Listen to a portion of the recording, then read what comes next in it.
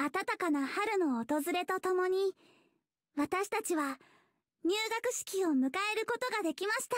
緊張と不安の中にも、これから始まる学校生活への期待で胸がいっぱいです。本日は、このような立派な入学式を行っていただき、ありがとうございました。って私以外に生徒がいないじゃないくら新設された学園だからって、私だけってどういうこと？ああ、そっか。先生も今日赴任してきたばかりだったわね。うん。仕方ないわね。続けるわ。8年前、私たちの世界は、薬剤に遭い、魔獣の襲撃を受けました。家族や友達を失った生徒も、たくさんいます。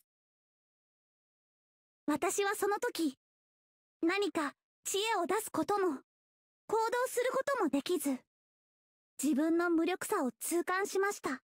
その後も、魔獣の攻撃は続き、消失した我が家から離れ、災禍の中、この土地にやってきました。生活が少し落ち着いた頃、異世界の力を借りて、魔力兵器を開発したと耳にしました。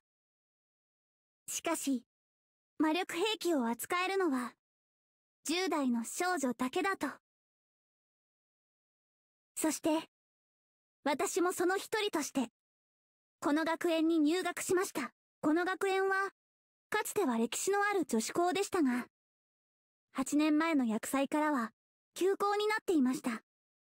しかし、この春からは、対魔獣の特殊養成機関として、たくさんの生徒が集まってきます。